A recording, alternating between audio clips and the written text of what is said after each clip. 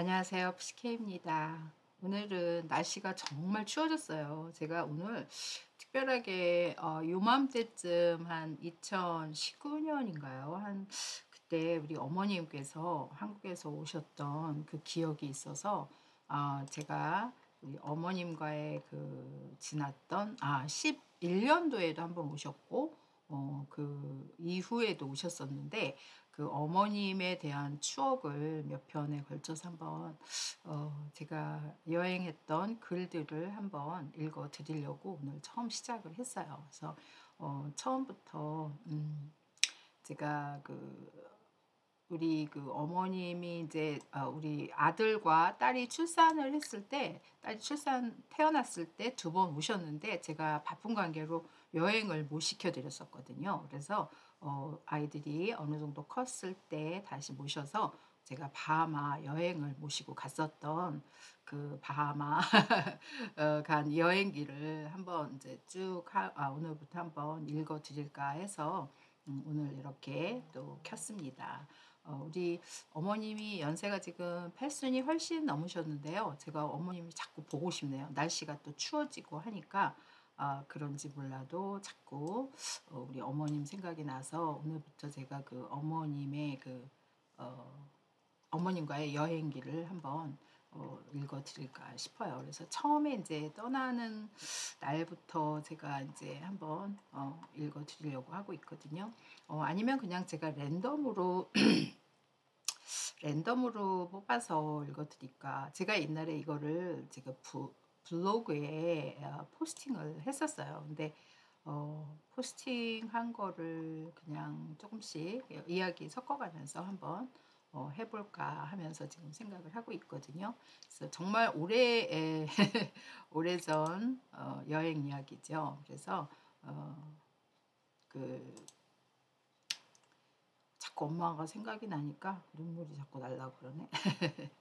예, 그래서 진짜 오래 오래 오래된 어, 한 글 이렇게 읽어드리면서 어머님 오셨을 때 산책도 하고 여행도 하고 어, 정말 즐겁게 보냈었던 어, 그런 시간이어서 어, 제가 이제 그 기억이 나거든요. 그래서 그 처음에 이제 여행 가는 순간부터 한번 읽어 드리려고 해요.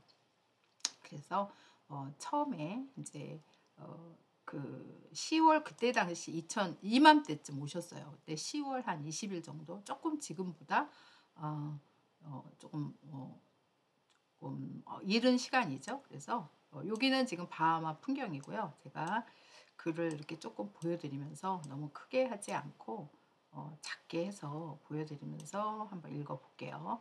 어, 제가 쓴 글이기 때문에 뭐 간단하게 읽어드리고 끝내겠습니다. 아, 바하마 카니발 여행기 1편. 이게 2011년 10월 20일이었어요. 첫째 날. 오늘은 친정어머님과 바하마 크루즈를 떠나는 날입니다. 새벽 6시부터 일어나 준비를 하고 4시간을 운전해 플로리다 잭슨빌까지 가야 합니다. 운전해 가는 도중 75번 사우스로 가다가 거의 178 78마일쯤 간 곳에서 처음으로 갈아타는 곳입니다. 잭슨빌 도로 표지판이 보이고 잘 보이지 않지만 I-10 번 도로 East로 갈아타는 중입니다. 어, 제가 사진과 함께 이렇게 어, 블로그에 썼던 거예요.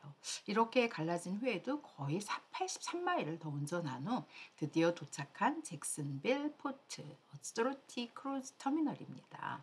아마 공사 중이어서 그런지 이런 어, 팻말이 노란 주황색이 보이죠.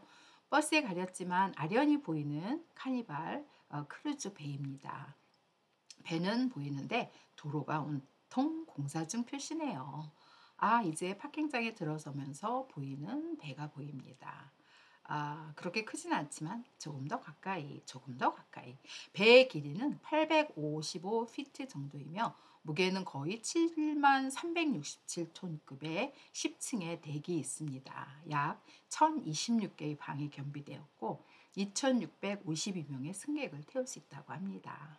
이제 파킹장에 들어서면 4박 5일 동안 파킹료는 60불을 지불했습니다. 차를 주차하고 짐을 꺼내 들고 터미널까지 가서 짐을 붙인 후 승선을 하기 위한 절차를 밟습니다. 우선 촬영을 금지해서 사진은 못 찍었어요.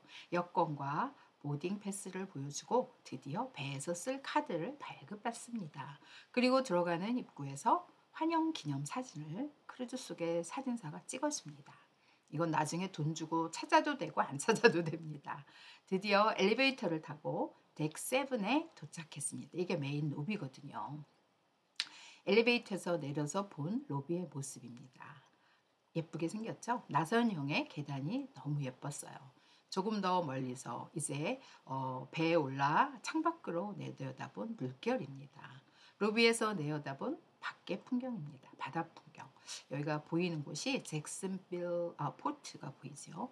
그 갤러리 쪽에서 바라본 로비 어, 그리고 어, 왼쪽에는 그랜 피아노가 라이브로 연주되어 있었고요. 가운데 바에서는 각종 음료수와 칵테일이 판매되고 있습니다. 어, 피아노 치시는 저 분이 어, 너무 멋지시죠? 조금 더 가까이 볼까요? 피아노를 연주하시는 분과 바텐더이신 듯 일본 분이 보이시네요. 그리고 엘리베이터 쪽에서 본 노비 그리고 엘리베이터 쪽에서 내리 보이는 벽 거울입니다. 위쪽으로 보이는 덱 2. 조금 너무 작게 보이나요? 조금 더 크게 보여드릴까요? 이렇게 약간 어, 조금 너무 작아서 조금 더 크게 아이고 예 조금 크게 보일 수 있으면 더 크게 보시기 바랍니다. 제가 음. 그래서 어, 위쪽으로 보이는 deck들 그리고 위에서 내려다본 로비 광경입니다. 그리고 더 높은 곳에서 내려다본 로비 광경 그리고 어, Lido deck에서 내려다본 9, 8, 7층의 모습입니다. 그리고 맨 위에서 내려다본 로비 광경 피아노 치시는 분도 보이시고 어, 그리고 조금 더 넓게 그리고 이렇게 엘리베이터 다 비치는 엘리베이터가 보이시죠? 어, 그리고 이제 7층 메인 로비에 있는 타라 갤러리입니다. 어, 여기서 제가 되게 신기한 걸 발견했는데요. 어, 묵은, 묵을 캐빈에 드나들면서 지나다녔던 제일 눈에 띄었던 갤러리 너무너무 마음에 드는 바이올린 켜는 그림이 있었습니다. 더 반가운 것은 한국 화가분 찰스 리라는 분의 그림도 있었습니다. Park West Gallery 음, 크루즈 안에서 그린 경매를 위한 그림들입니다. 아, 로메로 브리또의 아이들의 만화 주인공 Holiday, Flying Heart 같은 그림들도 있어요. 아래 그림은 한국분 그림입니다. 너무 멋있죠? Violin and Cello Duet by 찰스 리 그리고 어, Serenade Violet in Violet by 찰스 리 이게 아마 저작권이 될지 모르겠어요. 그래서 빨리 지나갈게요. 에밀리 벨렛의 아름다운 여인 그림도 있고요. Elegance 사, 어, 그리고 Serenade Orange 등 에밀 벨렛 마음에 드는 그림들입니다. 조금 더 가까이 보면 사고 싶었지만 사지는 못했고요. 어, 마르코스 클렌의 악기가 가미된 그림들, 이 댄스 아 Dance at the Gallery도 있었고요. 원래 피터 닉슨의 아름다운 여인들의 그림도 있었는데 팔렸는지 안 보이네요. 안톤 어, 크렌시아스키의 추상적인 그림 쿼텟 2도 있었고요. 어, 그리고 휴 첸의 Close to My Heart도 있었고요. 이 그림에 린다 아, 라키프의 어, Sitting with a Secret, 아, no, Scratch 2라는 그림인데 정말 웃겼던 게요. 이 그림과 어, 제가 그때 가져갔던 옷과 너무 색이 같아서 그 옆에서 찍은 사진도 있어요. 나중에 포스팅할 겁니다. 아, what is 아, What a large room one 이것도 린다 리키프고요. 루키프 아, 예, 여기까지가 이제 제가 오늘 읽어드릴 1편의 어, 크루즈 여행기 어머니를 생각하면서 했던 어, 어, 모습이었습니다. 예, 그래서요 오늘은 여기까지 보여드리고 이제 다음 편에서 또 뵙기로 하고요. 오늘은 여기서 인사드리겠습니다. 여러분 다음에 뵙기로 하고요. 어, 오늘 좋은 시간 되시기 바랍니다. 예, 시켰습니다. 예, 감사합니다.